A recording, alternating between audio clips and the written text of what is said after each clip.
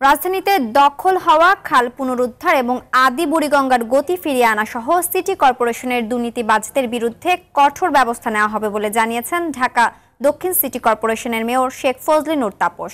সকালে রাজধানীর বাসাবোতে জিরানি খাল পরিদর্শন ও হাজারিবাগে কালুনগর খাল ঘুরে দেখে দেখে তিনি এসব কথা বলেন।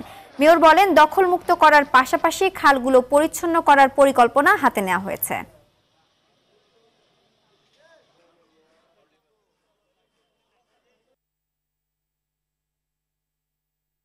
পর্যায়ে পরিষ্কার করা সহ আমরা সীমানা নির্ধারণ করব।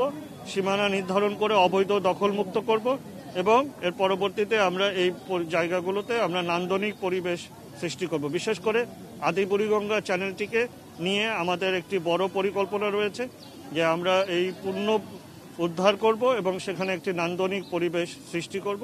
হাতির ঝিলের মতো অথবা তার চেয়ে আরও সুন্দর একটি পরিবেশ আমরা সৃষ্টি করতে চাই।